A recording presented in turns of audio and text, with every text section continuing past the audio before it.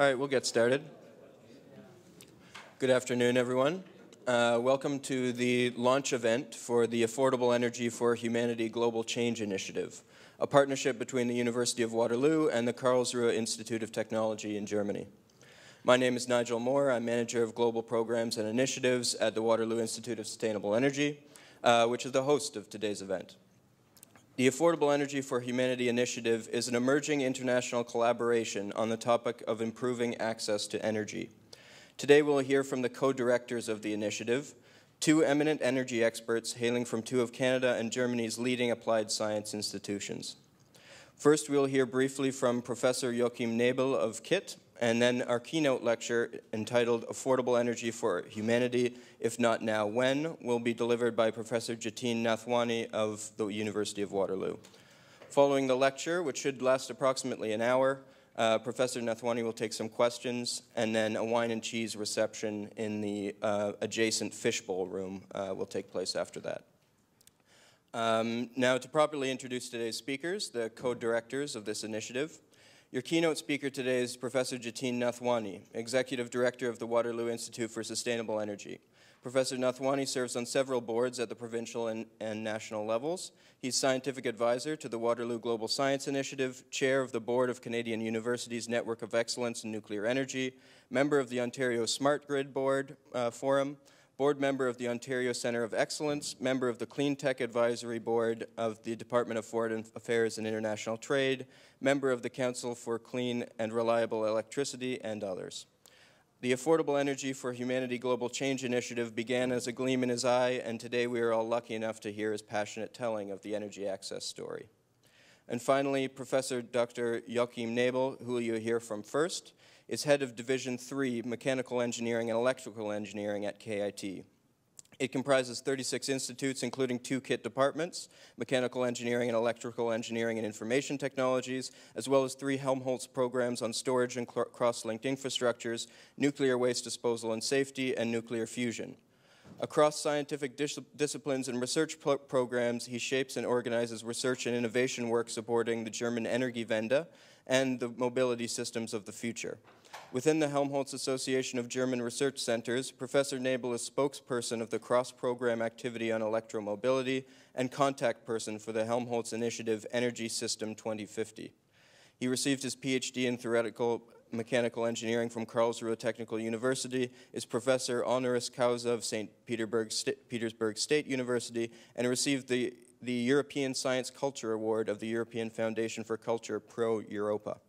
With that, I will now give the stage to Professor Knebel.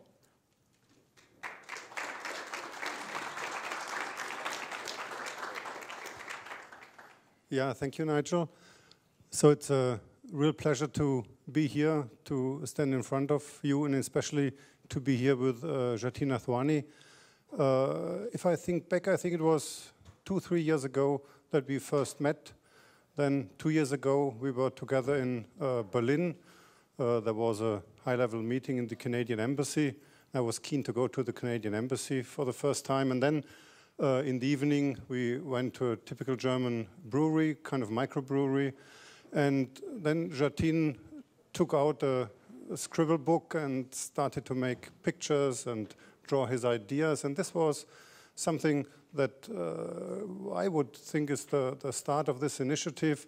So he got so enthusiastic about it, and uh, I thought, well, if if he gets enthusiastic, I also think about it.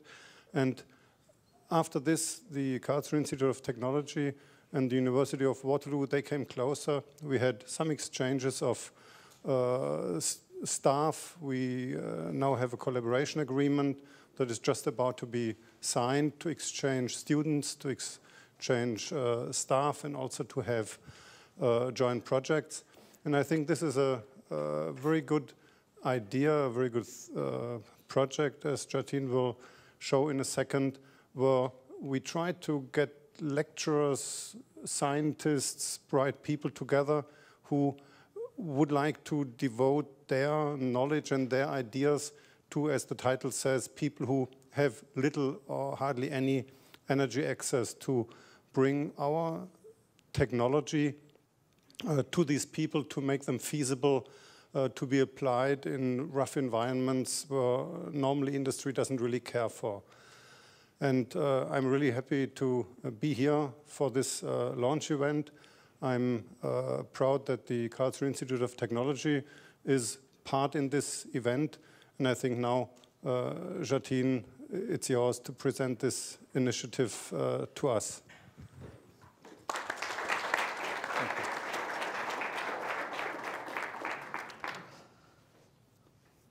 Uh, good afternoon, uh, and welcome to all of you at this uh, launch event. Uh, thank you for coming. Uh, the launch event, of course, affordable energy for humanity. If not now, when? This is, as Joachim mentioned, a partnership of the University of Waterloo and Karlsruhe Institute of Technology, uh, and we are now at the starting point. let me begin with a simple proposition. To suggest to you that energy is a fundamental enabler of human betterment. Availability of energy is intricately linked to our quality of life, and furthermore, access to energy service remains a powerful driver for a whole host of goals and objectives we may try to achieve, such as the recently announced United Nations uh, Sustainable Development Goals. That there is an urgent need for a global energy transition is actually relatively clear. Climate science provides us with the foundational basis for that judgment. What this does is bring into a very sharp focus, in my view, two of the the most fundamental scientific and technological challenges of this century. How can we provide affordable energy to the mass of humanity that is also clean? Where are the practical solutions? How do we get there to a low carbon energy future that does not leave a third of humanity in the dark? Here is a picture of a NASA satellite image, a composite picture that many of you will have seen over the years. It is a stark reminder of the light and darkness, disparity of energy access globally. Hans Rosling, the eminent Swedish demographer, actually puts this a lot better than I can. And he observes, he says, 1.5 billion people in this world have both a light bulb and a washing machine. The next 4 billion have only the light bulb. And the last bottom 1.5 billion have neither. So, rooted in this disparity, I think, is the source of so very many of our confrontations and debates around the questions of geopolitics of energy security, effect of energy use on climate change, and the ideas around affordable energy access. So I'd like to ask a provocative question. If lack of access to modern energy is not available to a third of humanity, what can you say about a sustainable energy future?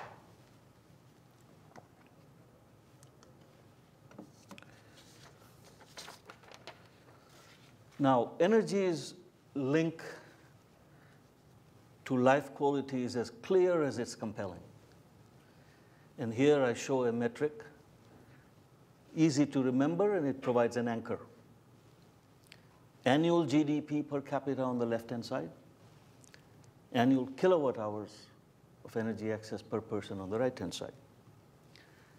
At the bottom of this ladder is what lack of energy access delivers. A quality of life that is an offense to our scientific and technological capacity to deliver. At an annual energy consumption level of less than 100 kilowatt hour per person, or at that low income level, life is brutish, short, and nasty, to paraphrase Samuel Johnson.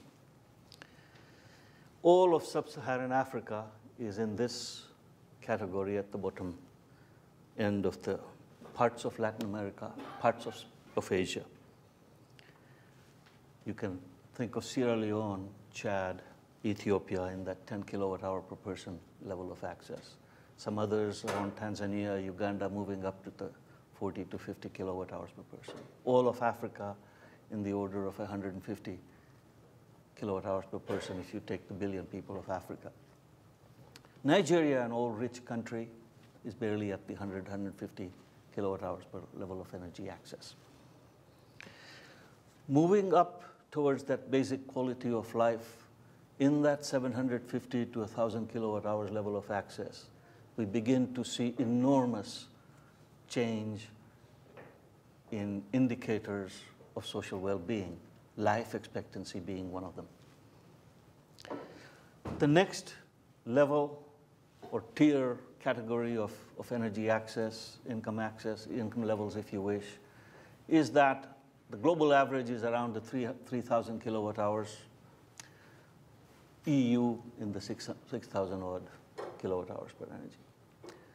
As you move up to the highest levels beyond the 10,000 kilowatt hours per level of energy access and in incomes multiples thereof, uh, we can begin to ask the question, have we put enough focus on issues around energy efficiency, conservation, perhaps trying to lower levels of energy demand to take the pressure off the challenges around the climate change question.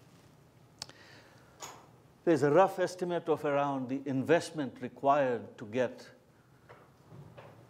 the 2 billion people to a level of energy access of around 1,000 kilowatt hours. This would be $2 trillion over a 20-year time frame. And if you think in those terms, it's not a very large amount of money in terms of what it can do to impacts on life expectancy.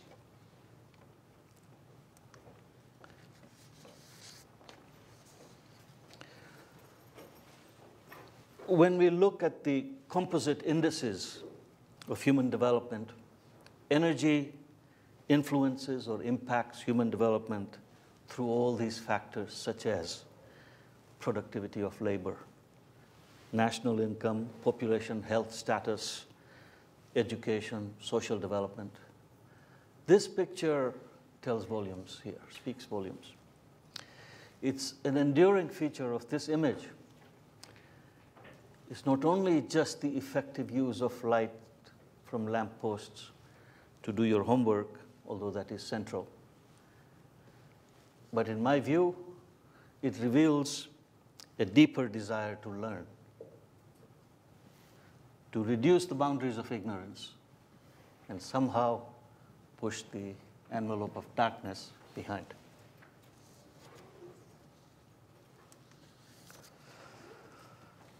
I summarize a vast amount of information in just this one slide, and let me walk you through it.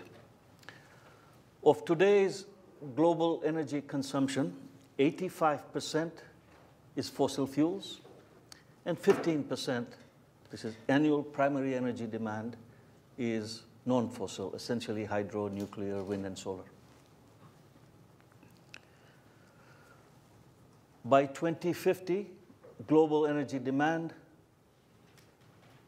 will double. The amount of energy that we produce annually today is 15 terawatts. So that's why I have the number there, 15. It's a nice summary number. 15 terawatts, terawatt years, actually translates into 500 odd exajoules or so. But that is the global primary energy demand annually. And that is going to double by 2050. So we're looking at another 15 terawatts to be provided uh, over the next four decades. If we now accept the challenge that emerges from climate science, the carbon emissions into the global atmosphere have to stabilize preferably in the 450 parts per million, but no more than 550 parts per million. And what that will require is removal of anywhere from seven to perhaps eight, perhaps nine gigatons of carbon emissions into the atmosphere on an annual basis. Now, if you begin to think in terms of the next 15 terawatts, that's a gargantuan amount of energy required that would have to be non-carbon sources of energy to get anywhere close to a, to a supply mix that is in essence 50-50, not 85-15 by the year 2050. Now imagine every power plant, pipeline, processing plant, the entire global energy infrastructure today delivers 15. Now you're going to have to replicate that in the next four decades, and that has to be non-carbon sources of energy to come anywhere close to getting to a 50-50 supply mix that could help stabilize carbon emissions into the atmosphere. That is the nature of the challenge. It is not a trivial challenge. Let me calibrate for you these numbers. What is a terawatt in simple terms? It is 1,000 1,000 megawatt power plants operating every hour of the year. One gigaton of carbon removal from the atmosphere translates into, in essence, turning off 700 odd similar sized 1,000 megawatts coal power plants to be able to remove one gigaton from the atmosphere. And the challenge is around eight to nine gigatons by 2050. Okay? So I remain entirely unimpressed with the rosy scenarios that are put forth by a whole host of researchers around the question of one or the other preferred technology that will deliver uh, a low carbon energy future. Please be forewarned, this is a fundamental, substantial challenge. Let me emphasize in case you're skeptical, where, are, where am I getting this number of a doubling of energy demand by 2050? Well, population growth. This is demand for energy largely determined by demographics, the existing structure of the global economic production, and shifts in the development profile within population groups, in essence, moving from energy poverty to something that is less so. So, by 2050, world population essentially increases to 9 billion plus, 9.7 is the latest number I see. With no change in the global development profile, another 2 or 3 billion people would be living in poverty. And that's the base case on this slide, the second bar chart from the other side. The next profile reflects something along the lines of UN millennial goals, the desire to improve living standards, to eliminate extreme poverty, and that's shown here as the so-called low poverty world. And the next one is a depiction of a relatively prosperous world, however you want to define that. So the pressures of population growth and the goals to raise living standards combine to set a formidable energy challenge here, either way, a doubling or tripling of energy demand by 2050.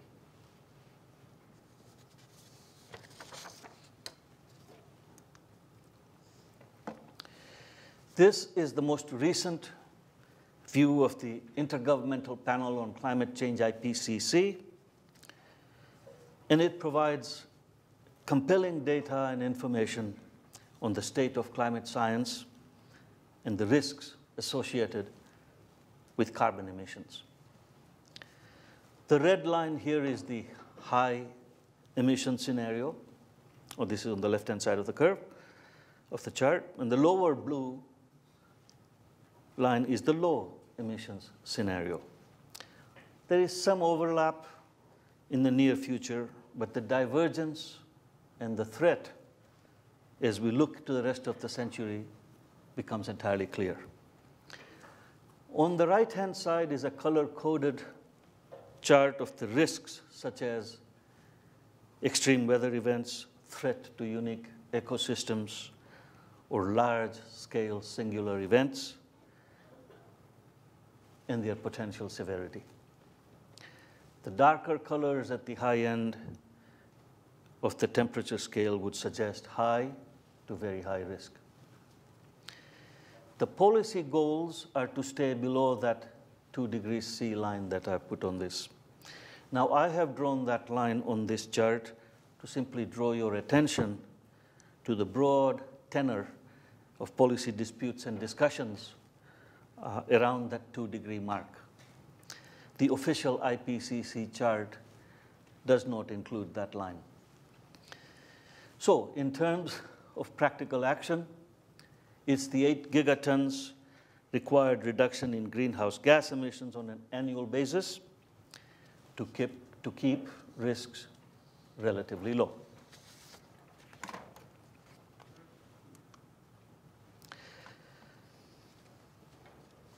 For all the near Herculean efforts by so many with such good intentions and well meaning commitments, all the talk of targets, timelines, and treaties, the line has not moved very much.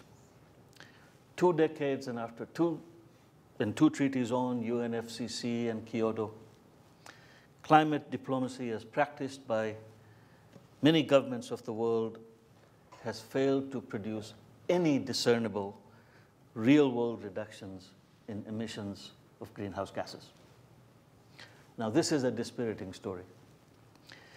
Carbon continues to hold our civilization in its grip, and in my view, this is a long journey 85 years, perhaps, three generations to get ourselves down where we may be able to flip the ratio 15% fossil fuel and 85%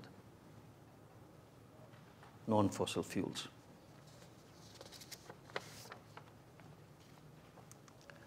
a little bit of evidence to just make the point that I've made, it would have been some comfort to see the trends at the global level either stabilize or show some decline.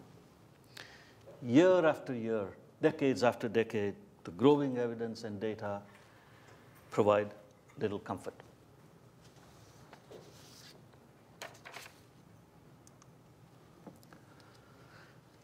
Our political processes rely on diplomacy, but diplomacy is severely constrained by what I call a zero sum game strategy, meaning I can win only if you lose.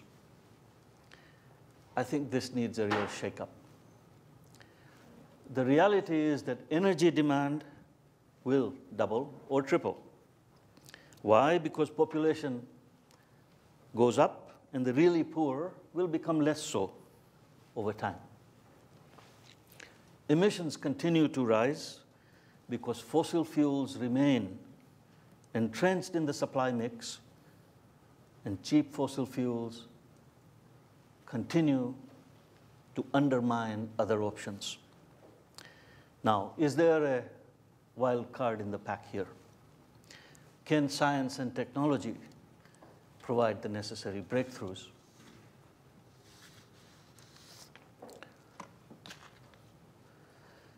This is an ecosystem view of the overall energy system.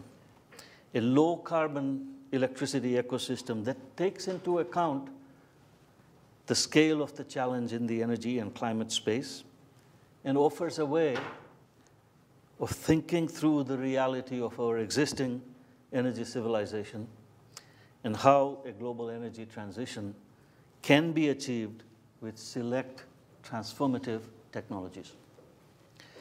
Getting to a low carbon energy future places an enormous burden on innovation. Technological innovation for sure, but complemented by business and policy innovations coupled to broad societal acceptance. Our previous work through the Waterloo Global Science Initiative, a partnership of the Perimeter Institute and the University of Waterloo, we addressed all aspects of a low carbon electricity ecosystem comprising the four core elements of baseload power, smart urbanization, electrified transport, and off-grid electricity access as shown in this picture. Today, of course, my focus is on off-grid access. Over the past six decades, the mantra of rural electrification was elevated to a high level of, what I would call rhetorical flourish. The reality on the ground proved insurmountable. The extension of the traditional grid, the transmission and the distribution system, to those without access continues to remain elusive. So, can technological innovation offer any hope through off-grid electricity access to serve distant and dispersed communities?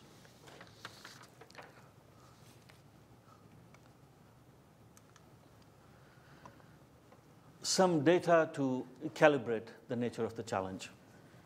The really poor at less than a dollar 25 per day or the poor, let's say, with income levels around $2 a day, are with us in about the same numbers one decade over the next. This is over the last couple of decades. For electricity access, we do see some improvement. But this is mainly a China story. Removing 500 million people out of extreme poverty in China has had impact on the access question. For the rest of the world, long way to go. Poverty is, of course, coupled with lack of energy access. It perpetuates a vicious cycle of energy poverty. Time is consumed by drudgery. Lack of energy prevents income generation opportunities. Low productivity equals low earnings. Low earnings equals no cash surplus. No cash equals inability to pay for improved energy access services. Thus, the poor become the energy poor.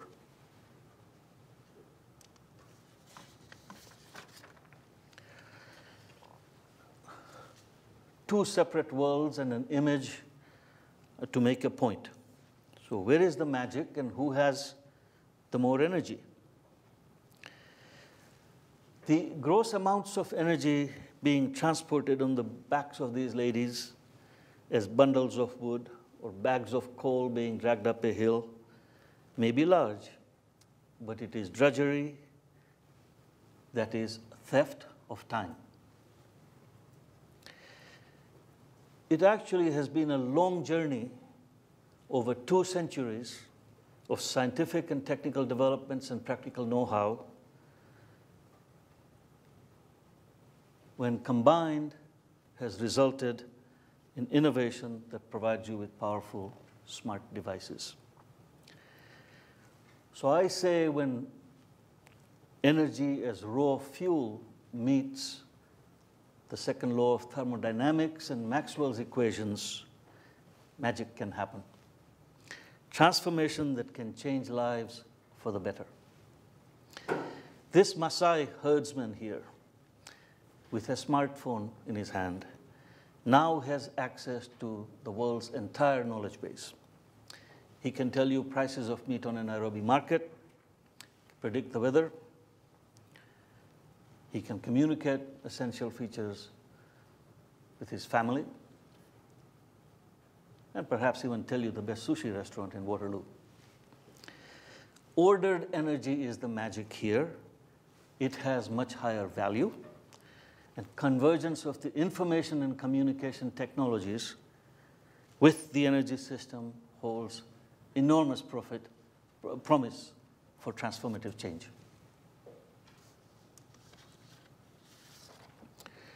This image uh, illustrates very clearly the social tensions in the debates about centralized versus decentralized power systems, the disparity of access, and why we cannot ignore provisions of services to the most needy.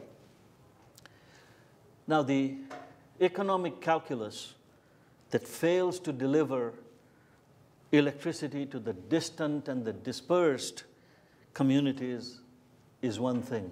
Challenge, but it's one thing. The inability to extend services within easy reach of the existing infrastructure speaks volumes about the business models that remain indifferent to the needs of many.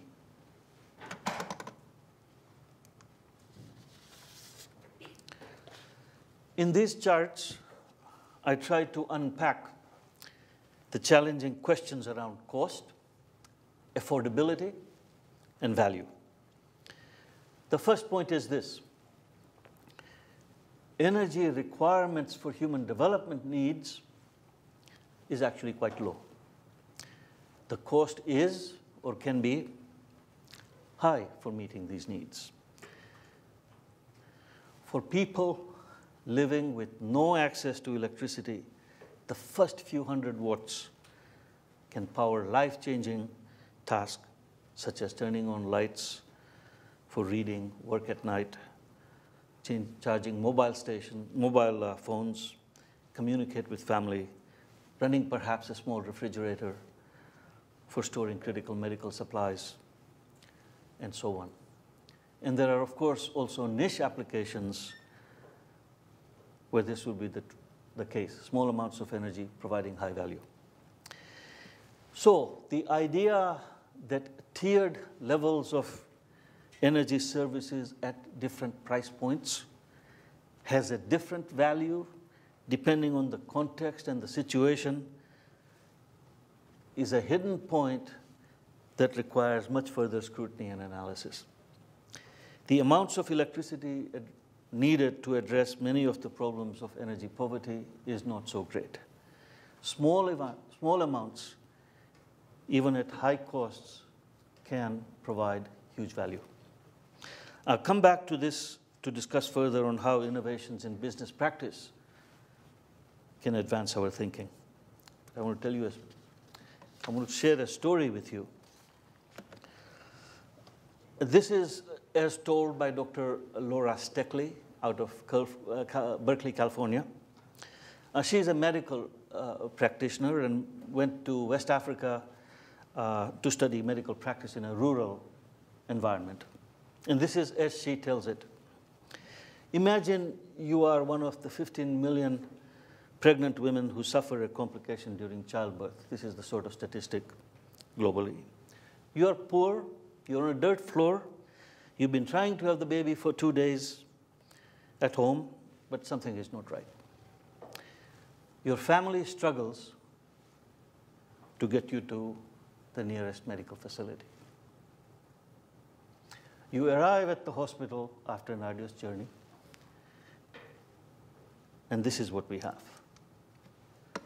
the light in a maternity ward. So the midwife struggles, find out if the baby is alive, tries to establish the state of your, your condition, and at the same time, through heroic effort, perhaps locates a doctor who might perform emergency surgery. And what do we have? This is the operating room. No light. Well, why? Because there is a power shortage or the backup generator is not working. There's an outage. What is otherwise a routine medical procedure in our world and source of much happiness for a family, birth of a child, is now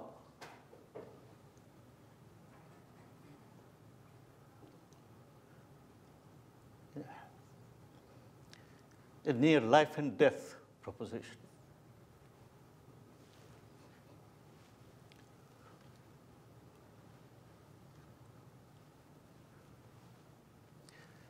energy poverty impairs the ability to conduct emergency care, midwives trying to start intravenous lines by candlelight, delivering babies in the kerosene lamp, lanterns, surgeons struggling under these conditions. You're looking at maternal and child mortality of 50 to 70 percent.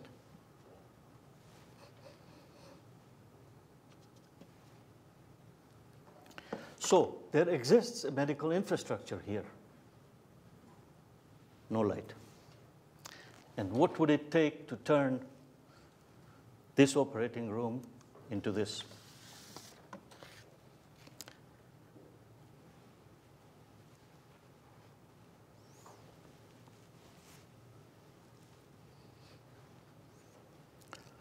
It can become functional, 15 watts of power, right?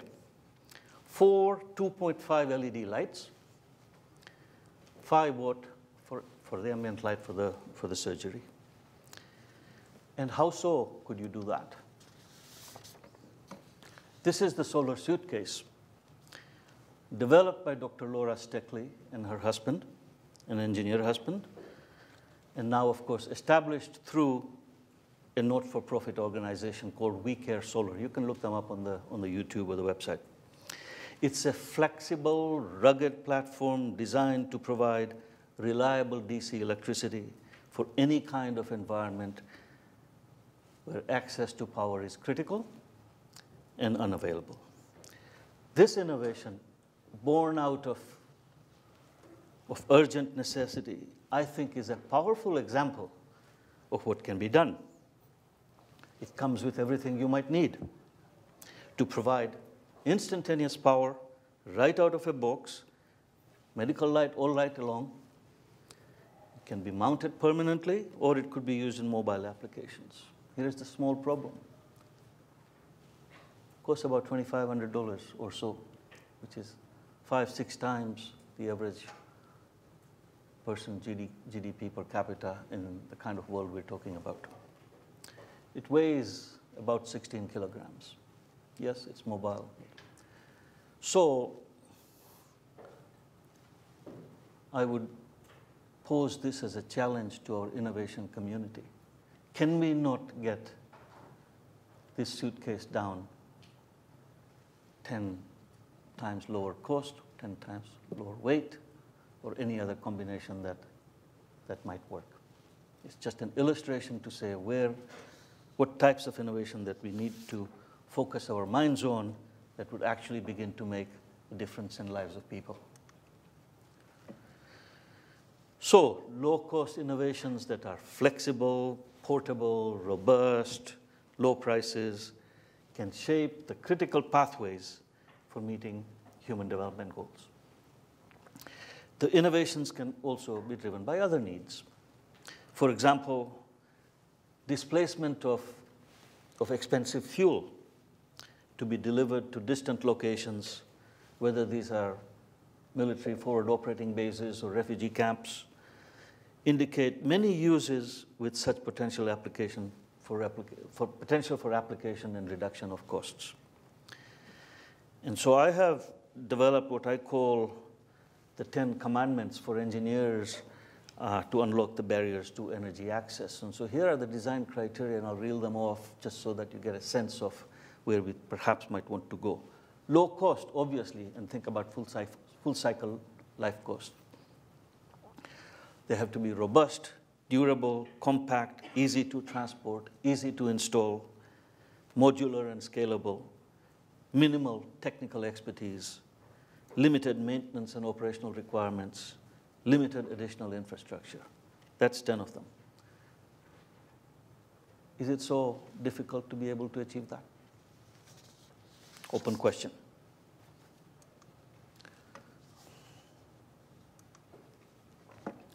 This is just to highlight but one domain of research. For example, if the goal is to design more efficient and stable devices, the strength for organic of, of the organic photovoltaics research or line of research is in the diversity of materials that can be designed and synthesized for the absorber, the acceptor, and the interfaces. Often referred to as solar by the meter. Their plastic nature makes them easy to transport, use, and install. They're light. They can be installed into or onto irregular surfaces due to their extreme flexibility. On a piece of cloth, perhaps, rolled up and carried to the installation point and laid across. Installation requires no special equipment or skills. The tent on the right-hand side here has the capacity to deliver 2 kilowatts of power from flexible solar panels daily. So it would not be long, in my view, if the innovators put their mind together and for the solar suitcase to become lighter and cheaper, perhaps by a factor of 10 or more, And the battery performance is improved by a similar margin, the solution can become truly scalable on a global world. Okay? That's the, the line of thinking.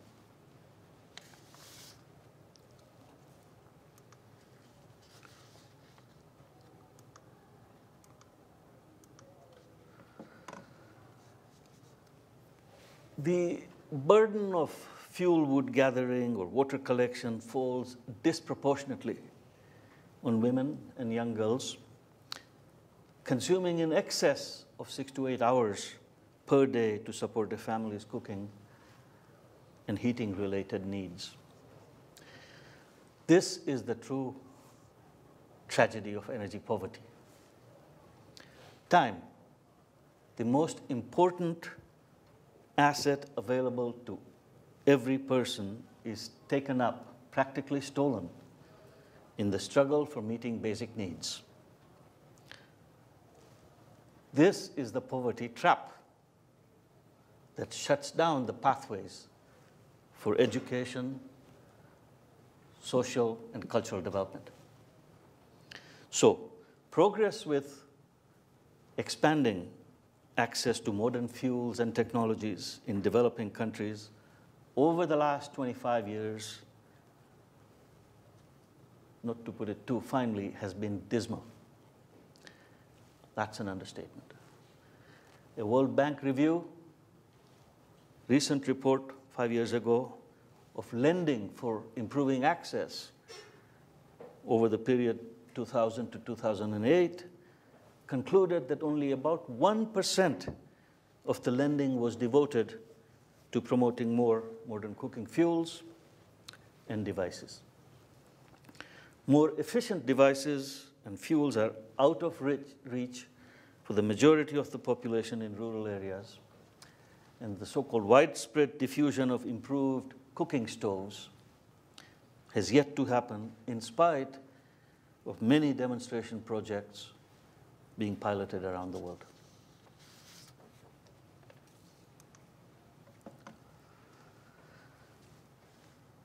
Time, available fuels, and capital are inherently substitutable at one level. The example here is heat for cooking. Left-hand side of the picture shows time costs are high efficiency of the stove is low, and so is the capital cost. Now you substitute capital intensive, higher efficiency stoves. Of course, you, you reduce the fuel costs and the reduction in time spent collecting wood for fuel, for example. Introduce modern fuels, and you reduce time budget even further. So shifting to more capital intensive stoves not only reduces the time spent on fuel supply, but it also improves indoor air quality. So now it's not so difficult to connect the dots here. Energy is a powerful vector for change. Time freed from gathering fuel or drudgery in general is then available for more productive use. This increases the opportunities for income generation. And this in turn would allow investment for better devices. This in turn would lower pollution exposure and improve human health outcomes. So the energy access challenge can now be seen as part of the important linkages and dependencies which we need to understand better to shape positive outcomes. Although I have only so far touched upon light and heat to illustrate the essential points, we must recognize that a portfolio of solutions would be necessary for energy poverty reduction because of the diversity of needs. The quanta of energy requirements for one set of needs, say lighting, may not be sufficient for appliances such as refrigerators or for pumping water.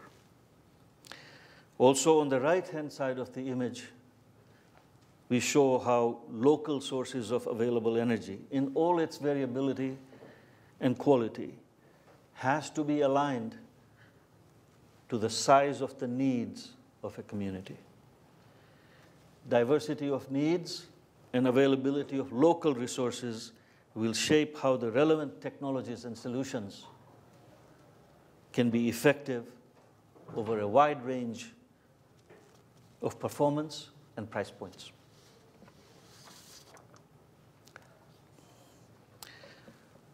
I've been challenged, so here is an answer to the question How can you ever make a successful business when your market is the low end, poor of the world, surviving on less than $2 a day? reasonable challenge. Well, let's take a sharper look at the quantity and price and an understanding of the market segmentation that might provide some clue. I frame it as a four tiered approach. Earlier, I pointed out that small amounts of energy, tier one, on this chart, has enormous potential for human development needs.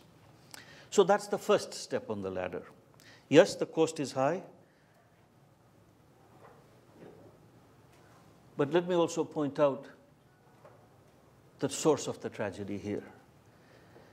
The effective cost of lighting, computed on the basis of the amount of electricity needed to deliver the equivalent lumens via kerosene or disposable batteries, are actually very high very high, as high as something in the order of three to four dollars per kilowatt hour. Okay? So the paradox is this the poorest of the world are paying something like 30 to 40 times the cost of a kilowatt hour that we do in our world, which is 10 cents a kilowatt hour or so. Evaluations by the World Bank, again, this, within the last 10 years, makes a very compelling argument that the value benefits of lighting for a family are in the order of anywhere from 35 to 50 dollars per month. Much higher than the 2 to 5 dollars per month that would be the cost for such a family, for a household. Again, the tragedy is that even that level of cost cannot be borne. The poor are strapped, trying to get themselves a level of energy service that's commensurate with their needs. Survey of the Millennium Villages indicates that 50% of the households spend between 5 to $10 per month on such poor substitutes as kerosene. So the poorest in the world are actually spending 30 to 40 times higher to get that lumen of light and yet are not able to transition to something that's cleaner and better. There's a barrier that you need to understand. And this tiered approach to getting to a, to a sense of what may be different vectors for productive use of energy, needs for larger amounts for communities, and entrepreneurs to set up businesses is the way to think to see where you might go. And this is for real. So I like to emphasize the notion of microgrids. Microgrids can deliver benefits through cost savings relative to low cost or low, low quality energy, fuels, and technologies. A microgrid, in simple terms, is an aggregate of small sources of demand or loads, as the electrical engineers might call it, and distributed generation sources. It operates as a single system that provides both power and heat. A microgrid's distributed energy resources can include a high frequency AC machine such as a microturbine and DC systems, perhaps like solar cells or fuel cells. This is but an example of an analysis that shows how tariffs for microgrids can result in unit prices of electricity in the order of a dollar per kilowatt hour. The implication of these cost differences is such that you can actually deliver a large amount of consumer surplus if you add up A, uh, B, C, D, and E on this chart. This is analysis performed at Carnegie Mellon by Jay Apt and his group and is well documented. What it begins to get at is the question of even though microgrids may be perhaps 10 times more expensive than the 10 cents a kilowatt hour that we get here, but looked at it from a tiered perspective on different segmentation of needs, it can actually generate economic surplus that somebody might set up a business.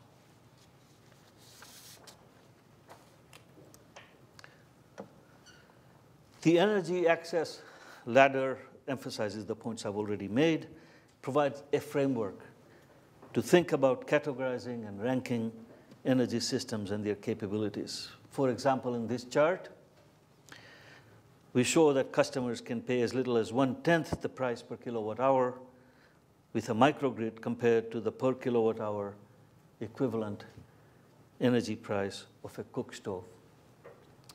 On the energy access ladder, microgrids are positioned somewhere between individual home systems, which are intended to provide only lighting, cell phone charging, or a small radio, and a central grid, which of course is designed to provide unlimited access to electricity at all times.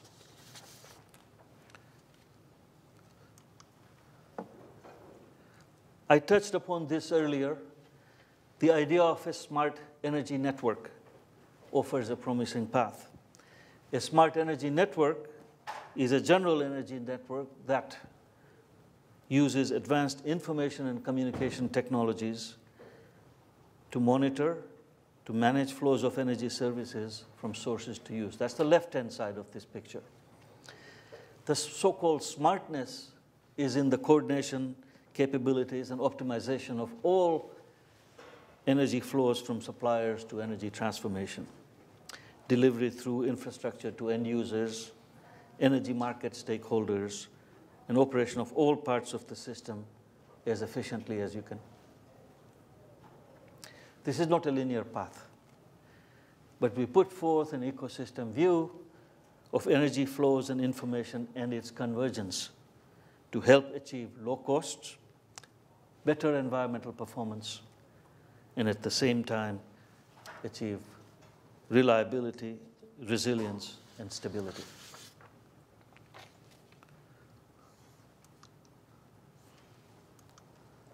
Rest reassured, I'm coming towards the end of my talk. It's relatively clear that the scale and complexity of change suggests that transition to a low carbon economy will take a long time. That the global dimensions of energy poverty is an even larger and deeper social and economic problem.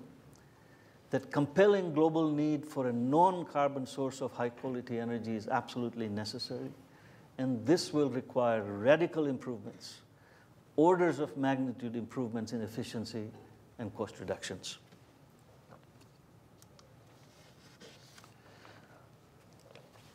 Many perspectives converge on this.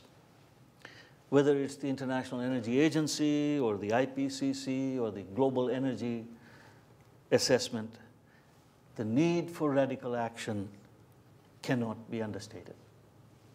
And I'm going to quote from the Global Energy Assessment that massive diffusion of new technologies for meeting the thermal energy, motive power, and electricity needs is required to meet the grand challenge of improving energy access. This requires innovation on both technological and institutional levels, providing universal energy access to electricity is not only a moral imperative, it delivers substantial social, health, and environmental benefits. End of quote. This brings us to the launch. I am glad to welcome you to this launch event. Our website is now active. We are undertaking a major global change initiative. This will be an active partnership comprising leading researchers at universities and other institutions devoted to advancing the research basis for practical solutions. There is tremendous enthusiasm, and the two anchor organizations are University of Waterloo and Karlsruhe Institute of Technology. And our goal is simple. We want to break the barriers that feed that vicious cycle of energy poverty. And we believe that science and technological innovation can make an important contribution. Research will inform practice, and those non governmental organizations already working in the field, implementing projects and solutions, will provide feedback from the lessons learned, the barriers that they face. How is it that we can improve best practices? What can research and science do that might help people working in the field? We are fully cognizant of the fact that technological solutions form but one part of the overall picture. Our colleagues in the social sciences bring strong insights to how solutions are adopted by individuals and communities and bring a deeper understanding of the social forces that would make some of these solutions sustainable in the long term. So we are building partnerships to help make a difference in the lives of those who have very little.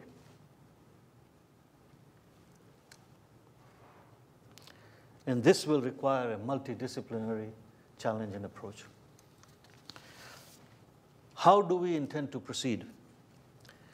We have identified four domain areas as shown here, generation devices, advanced materials, microgrids for dispersed power, ICT for energy con convergence, environmental and human dimensions of energy transitions.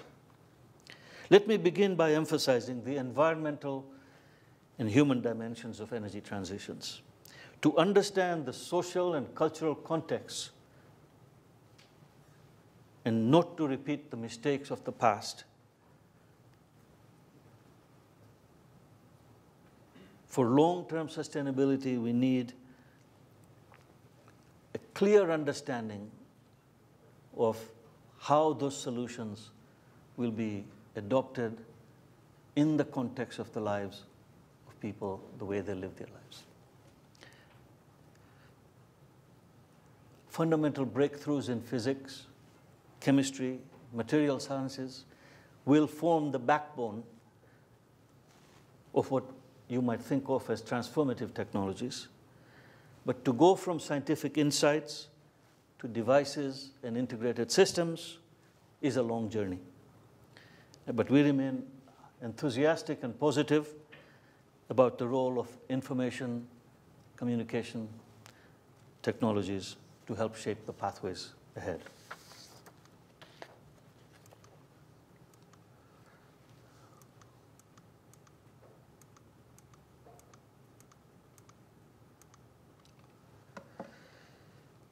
I won't go through this in detail, but to give you the range, depth, and diversity of the domain areas at a finer level of granularity. Against subdomains, we can begin to identify the areas of focus that would ultimately translate into orders of magnitude improvements. Even at the level of a subdomain here, it is still fairly general.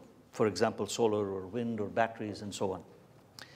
The effective work will be at the le level of research clusters, and there will be many under each domain or subdomains.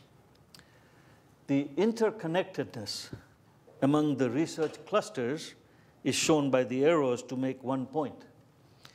Yes, they are interconnected in some indeterminate form, but we want to move away from silos, to join hands with others in different domains will remain a key aspect of how we can be successful.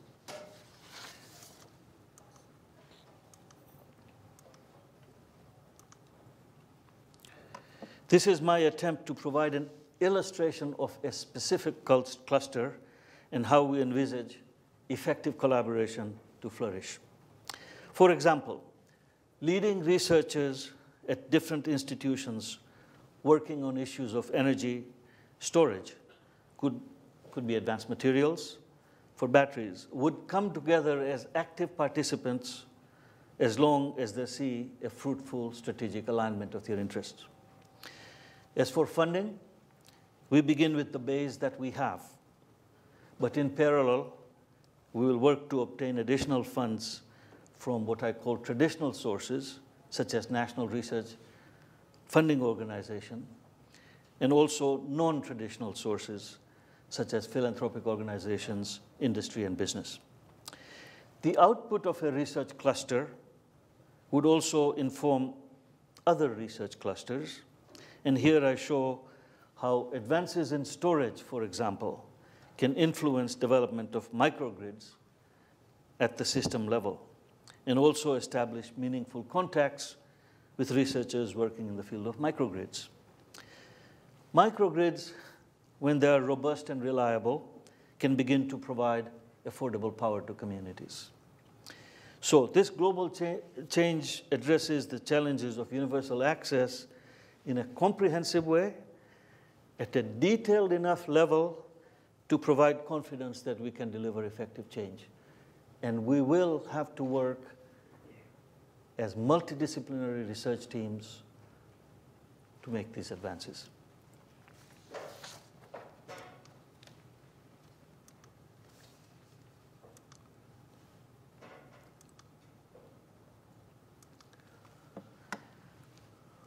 Our goals and objectives are clear and simple. We want energy services to be affordable so energy poverty can be relegated to a footnote of history. We would like to be judged by future generations in a positive light. A global environment that meets the need of future generations without compromise.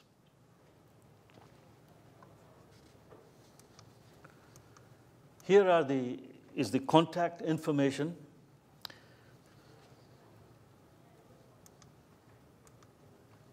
And this is the link to the website that has become active as of today. I thank you for your attention. We welcome your support in any form whatsoever. And I will leave you with one last thought, and it's a quote that comes out of Jefferson, which says, No problem can withstand the attack of sustained thought. We will deliver. Thank you.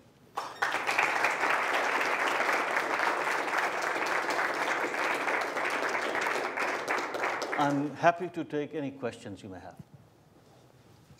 And I think there are microphones uh, around so that for recording purposes, uh, that will be available to those who are not being, being, uh, being able to attend. Any questions? Sure. Um, yeah, so it's an exciting initiative, and I think the um, the first 10 watts is a really exciting space right now where you see some, some things happening. Uh, I'm wondering, you mentioned uh, sort of how the, the terms of reference are figured out and getting feedback from nonprofit organizations. Um, I'm curious what your take is on uh, companies like M-KOPA or Off-Grid Electric that are, are trying to bring those first 10 watts and price it at a kind of daily level below the price of kerosene.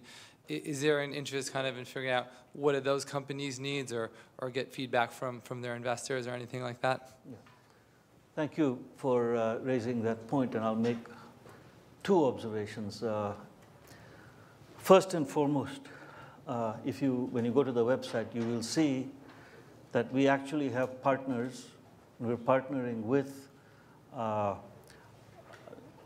NGOs that are active in the field, like Practical Action UK is, is, is but one example. We're talking to a whole host of others. Uh, so the desire is, is this clear, uh, whether it's a foundation, whether it's a government uh, uh, uh aid, comes from uh, foreign aid programs, people who are working in the field with real projects, uh, running into all manner of issues and challenges. Uh, we need to know who they are. We are identifying and have identified a number of them, and they'll be active in this initiative. So that's the first observation. Because we want real life lessons to inform research directions, and researchers, as they develop their insights and solutions, some, of course, longer term, others on an ongoing basis, can help feedback to improving practices in the field. You, address, you asked the question around companies, and there is actually, this is a recent development, it's a very positive development in my view. The number of, of, of companies reliant perhaps on, on uh, philanthropic intent, but nevertheless they want to run them as businesses to make sure the sustainable, uh, the solutions remain sustainable over the long term. Uh, one observation I would make is that I've seen quite a number of them uh, would make announcements, all good intent, excellent on paper, plans, uh, are failing in the field. And the observation I make is that they're failing either from a financial perspective or implementing these solutions, partly because first they don't, or, or the, the, the level of complexity in, in providing effective solutions in very difficult environments, distant, dispersed parts of the world where infrastructure is very poor, you underestimate that. Number two, when things do fail, the supply chain of expertise to assist, to provide solutions, is non existent or is there but not as, as strong as it should be. So we are hopeful as we work further into this program to identify companies that have an interest in uh, working with us so that we can link them directly to researchers as they produce their solutions and there can be an effective feedback between corporate entities that are trying to make a difference in the world just as the NGOs are trying to do the same. So that's the desire. Yes? So let's pretend that fossil fuels were completely clean and that they didn't contribute to climate change. Would that be a sufficient solution for getting the poor their first electricity, or are there barriers to that? You, you of course posed a pretty big if, but for the sake of a uh, answering that hypothetical question that fossil fuels are clean, uh, that is, that do not have any carbon association, uh, carbon emissions associated with their use. I don't believe that's credible, but for the sake of discussion, let's assume that's the case. Uh, the current paradigm is exactly just that. The fossil fuels are being used, kerosene is being used, uh, notwithstanding its it's both uh, pollution effects as well as the climate change challenge uh, because they are the most cost effective. They are the cheapest. In fact, they're cheaper because we have not taken into account the externalities associated with these fuels. And so, because they are where they are, uh, is the solution that people go to.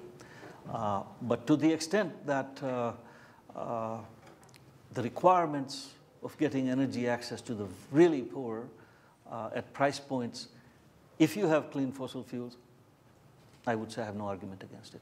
That would be. But it's a very big if, and it's not a credible uh, uh, position to say fossil fuels are clean. But if they are, then it's quite important, in my view, to get to the energy access question because it has such powerful uh, consequential impact on people's lives in a positive way. Yeah.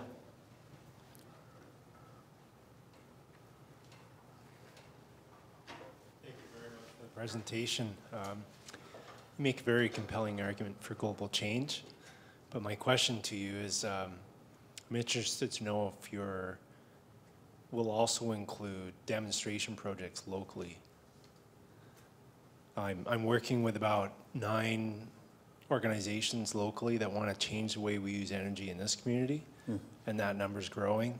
Um, is, is there any value to your initiative to demonstrate smart energy networks, microgrids in this community, whether it's our rural areas or you mentioned urbanization here? Is there value in that for you to demonstrate that? Because we're very interested in it. I would say absolutely and yes. Uh, we already,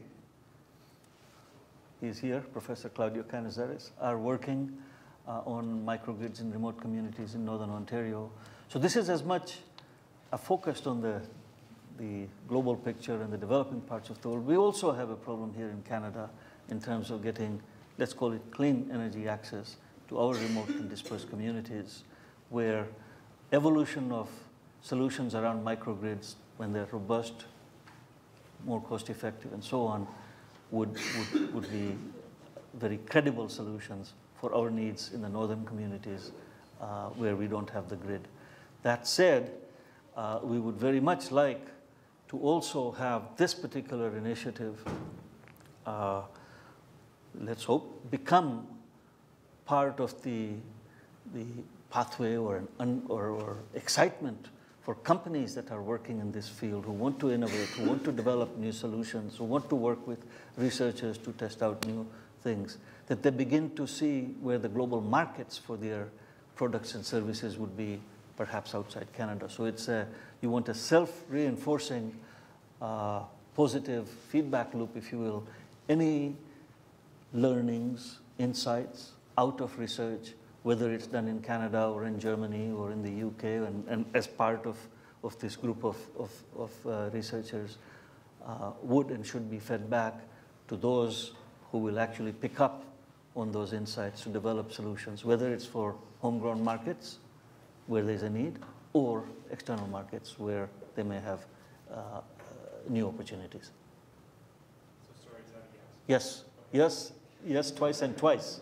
yeah. Uh, yes, Claudio.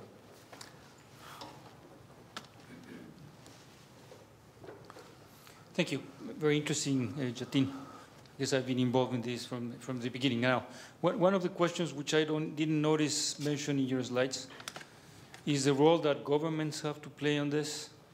My, my experience with uh, remote microgrids has been that they have a lot to say and a lot to contribute and can make a big difference. So do you see a space for them to be part of institutions to be part of this and Yeah. how do you envision that happen?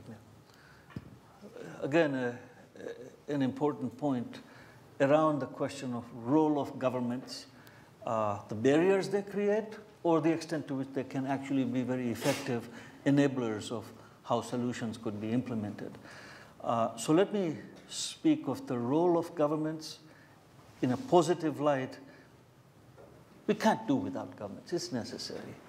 We need some frameworks, institutional frameworks, legal mechanisms, a whole host of, of, of the kinds of things that governments provide that would enable these solutions to be implemented, whether it's in Canada or in parts of Africa or Latin America. So the government can play a positive role in, as, as, a, as, as an enabler, if you wish, of, of uh, the frameworks around which these things could be actually implemented. Where I would like us to think and move away from government as the funding source that will fund these activities ad nauseum until, and then only because it is government that will. I think there's less and less appetite that perhaps, yes, governments to the extent they're willing and, and, and able to fund uh, some of these programs, and they do currently through international aid development programs, uh, is a positive. But for, for solutions to become truly sustainable, uh, I think they have to be on the basis of, of, of businesses that will drive them in ways that.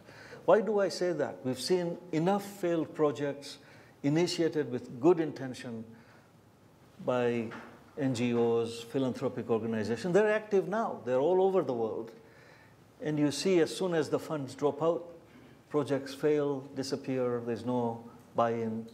Uh, so you need a convergence of, of sets of solutions where if they make sense for people who actually are going to use it in their lives, in the context of their lives, and innovative business models that begin to get at the question of their needs, then I think it will become truly sustainable. It's a matter of faith on my part that that might be the case. Okay. There's one there, and then we'll come to Julie. Hi, uh, thank you very much for your presentation. Um, I guess my question is, again, as, um, as an engineering student, what sort of research or technology do you think there is an urgent need for in order to help facilitate this transition to a sustainable future? I don't believe in what you might call the magic bullet as the solution.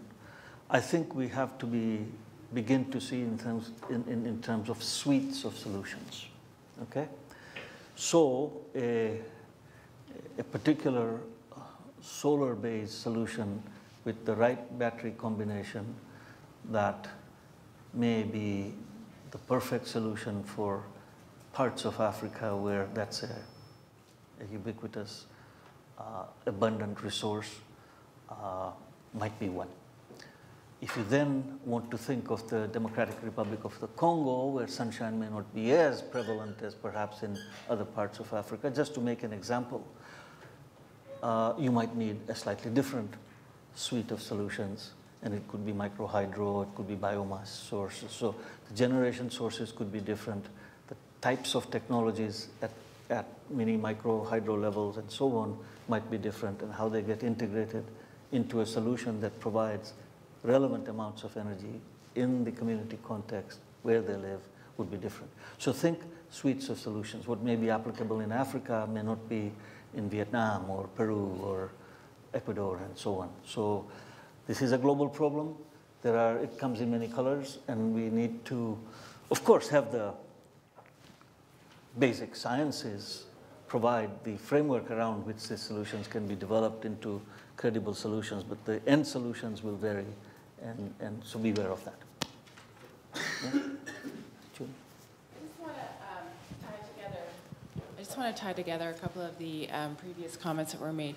Um, number one, uh, the whole idea of uh, the role of government, especially de-risking um, from a financial perspective some of those advanced materials uh, advancement, research advancements in the advanced materials space that are required, um, which are really part of the long game here. Yeah.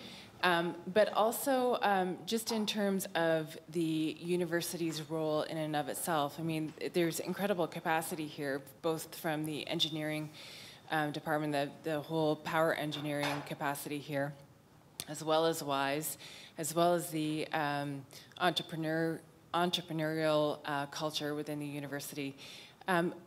Could you comment in terms of what could actually come out of the university itself in terms of, you know, just that base of resource um, for some of the possible short-term solutions, maybe from ICT or whether there are specific design advances that could be made on things like the solar suitcase? Thank you, Julie. Uh, the, I call the university as a large underutilized resource, both in terms of the actual physical infrastructure that exists, certainly at University of Waterloo, perhaps at KIT. Uh, and I've been around enough universities, uh, there are people who are partners in Cambridge University, Berkeley, Carnegie Mellon, you name them. Universities are an underutilized uh, resource. So the first view I've taken is I'm going to start with what's there. As soon as I get an active participant, he's a member, he or she is a member of this, and we work with that. Now, the role of government in, uh, as you mentioned, de-risking or perhaps the basis around which we might do long-term thinking, basic research, is absolutely crucial and necessary. My answer around role of government was in fielding field projects and see if we can find a way to move away from that. Uh, but when it comes to the funding required to provide a basis for research, uh, a lot of private sector enterprises simply do not have the appetite for that. So the government does have an enormous role in terms of, of let's call it underpinning the fundamental research capacity at universities, whether they're in Canada or in the UK or US or, or uh, Germany or anywhere else. So that role will continue, and to the extent that they have, uh, that there are there's an appetite for supporting this end goal objective as part of it is, is, is absolutely crucial. Uh, okay, what's around the corner that, that may actually really begin to, to, to change things that uh, I think we, we, we have to uh, begin to think of, of and I, I tell my colleagues in, in power systems to say, right, now give me a microgrid in a shoebox, right? So that takes you to miniaturization of, of you know, dematerialization or miniaturization, uh, material science, vast improvements in, in, in uh, storage capacity of, call it batteries. Uh, solar field is moving very quickly and we're into the next generation of uh, developments of solar technologies which will be low cost, better efficiency and so on. So there's a combination of, of real solutions within the next two to five year time frame that can actually be picked up by people who want to turn them into practical solutions for implementation in the field. Uh, and we cannot underestimate the role that, that the ICT sector can play. So to make a, a simple point, when I was in London, UK, a friend said to me, oh, he has a Tesla. And he showed me on his app, his Tesla sitting in Mississauga, that he could actually turn on and off the vehicle, knew the charge level batteries in that car. So I would ask Claudio and say, well, now help me understand, why can I not control a microgrid in uh, Namibia from here in Waterloo? Is it that far a stretch? Think of it. Okay? Yes? It's another amazing product from a renowned university um, as far as the major issue um, of power, clean power, and affordable power, not just Africa, but the rest of the world as well. And it requires a lot of effort because even now, the most um, dirty power still comes from the West, from the developed countries. So, you know, making an effort, a consolidated, a consolidated effort addressing that issue is quite, quite a humble work, a passionate uh, delivery. But as far as the, the sub-Saharan Africa and all of the least developed countries is concerned, the, it requires another dimension. It has to be sustainable, okay? So you need uh, another group of the university, the, uh, the people who would be able to create a business case out of, uh, out of the whole exercise, which is uh, in order to be able to have those people that you showed carrying wood, or uh, you know the, the pastoralists and so on, to be able to afford anything, the first thing to do would be to raise their uh, production capacity. They should be able to pay, you know, 10 times what they are making now. So any kind of solution, particularly energy type of solution, should be able to enable them. enables them to produce tenfold, from one dollar a day to ten. Well, one thing that I am working, let me just share with you, is that an investment-based approach. Say if we collect from the whole world, you know, some thou- a thousand dollars a day, you know, a thousand dollars per person for say Ethiopia. Hundred million Ethiopians will require hundred, will get hundred billion dollars. If you were to enable those people, increase their productivity tenfold, okay, that they would more than be happy to pay back 10% rate of return per year. That would also substantiate to acquiring this kind of technology and others in their livelihood.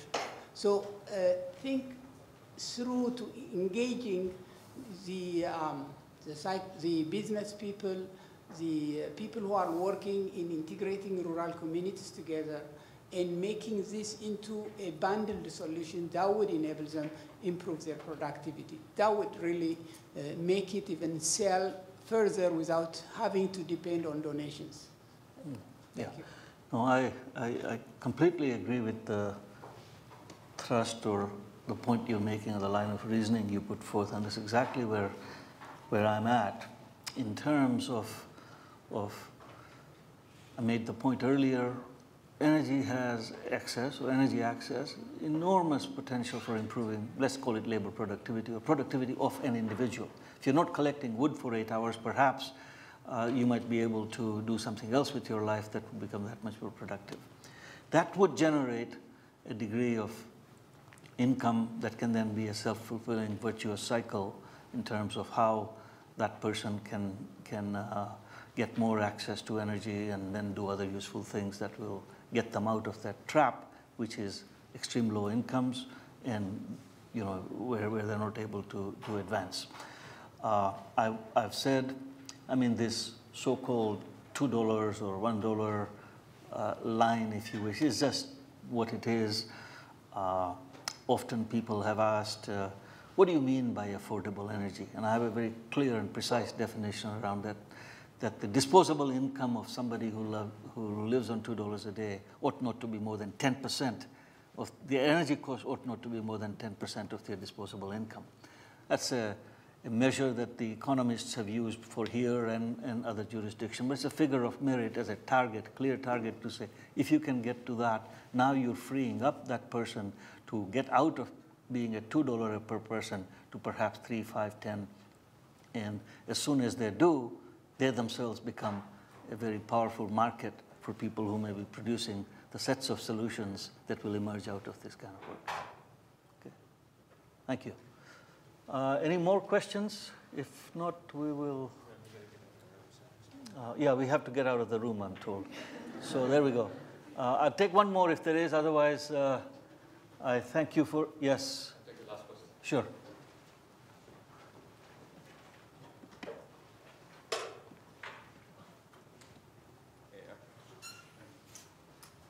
It was an excellent uh, presentation. Uh, just having worked on uh, large-scale uh, uh, renewable projects consisting of solar, biomass, and wind, um, one challenge that I've seen is in terms of uh, the financial component of bringing it to the energy deficit community. Um, you know, typical polycrystalline today cost about a dollar per watt peak. You had shown in one of your slides uh, tint with an organic solar PV, which you know probably would be three or four times the cost of a polycrystalline PV. Uh, just want to understand uh, the focus. Um, you had mentioned the technological focuses of the group. Um, what specific initiatives is the group planning to sort of subsidize the cost? Because this sort of stretches on the on the role of the government as well today. The last mile uh, connectivity problem is, is the financial burden of this. It is very difficult to subsidize it. Even if governments uh, say that they have subsidized programs, they are actually not getting implemented on the ground. This is what is happening really on the ground. Yeah. So what is the specific focus of the AE4H group Yeah. in terms of, uh, you know, making this affordable? Yeah. Okay, so you, you raise uh, uh, two points. So let me go to the part you talk about the large solution. Let's call it uh, the large grid, large wind farms, large uh, uh, solutions that really come through the grid, if you wish, or come through transmission and distribution systems. Uh, and that has been a, a challenge. Uh, so to the extent you build a large wind farm, that gets power gets fed into the grid, but that grid is not able to get to distant and dispersed communities, partly because of the investment requirements for, for getting to that last mile that you, last inch that you talk about. And that has been a proverbial uh, problem over the last 60 years. We just, politicians will say, we'll bring the grid to you, but it just has not happened. So the transformative change that we foresee here is this, that to the extent that it is, from a strict economic standpoint, difficult to deliver levels of energy services to communities that are distant and dispersed, that we begin the focus around microgrids that rely on local resources that meet their needs where they live. Over time, this will evolve to interconnected systems, and they may get to a point where the nearest distribution grid is available for them to be hooked in so they can become part of a network. But we're not going to wait another 100 years or 50 years to get there. So we say the sets of solutions that are what we call dispersed power through microgrids is a very promising area that will begin to get at the question of what governments have not delivered over the last 60 years. In, in terms of the solution around solar PV versus organic PV versus different variations around solar solutions, you are right that the both the efficiency is low of the plastic that I, I put forth and the costs are, are also high. And so at a fundamental level of basic research and sets of research activities that we have colleagues who are involved here, that's the challenge to them to say, how do we evolve the basic sciences to a point where you can break these barriers? And if, if, if Cavendish labs at Cambridge come up with the solutions around photonics and so on. Brilliant. But then what do you do with that insight to turn it into devices and, and, and systems? So that will take you to different sets of uh, developments that will be that will be necessary. So uh, to those who say, you know, technology is not the problem, we have all the solutions we have, all we have is a problem of government interference or corruption or this, that, or something else, uh, all those things may be true, but the technology is not there to deliver the kinds of services at price points that is meaningful to people in this kind of a context and significant amount of new technological development. And when successful, massive deployment of that will be necessary to really break the back of the energy access question. I think we'll stop there. Thank you.